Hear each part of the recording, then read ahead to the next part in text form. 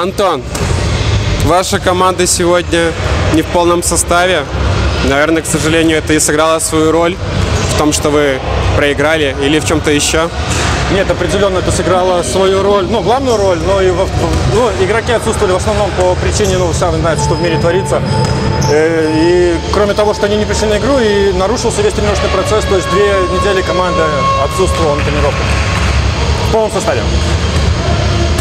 И у вас тоже вот на трехсекундной зоне Бейнс очень много фолов получил, пятерочку даже сел. Два игрока село, да. Два игрока село. Да, видите, отсутствие игрового ритма. Немножко похулиганили. Да, мы те хулиганы, что пишем на табакерках. Трамп 49,3%. С каки- И какие, флаг республиканцев. э, какие выводы вы сделали по игре и что вы будете изменять в своей тактике, стратегии на будущие игры? Ну, сделали вывод, что надо не болеть. И, ну, в основном на, на определенных отрезках игры все-таки мысль какая-то была.